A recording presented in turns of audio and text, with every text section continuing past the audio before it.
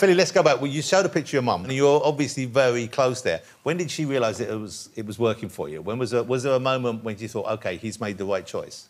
When I retired her. Wow. Yeah, I retired my mum. She used to work in Poundland. And um, it got to the point where where she was working in Poundland, people would like see the resemblance between me and her. Yeah. And go, are you Filly's mum? Are you Filly's mum? And then some people asked for pictures and she got really embarrassed.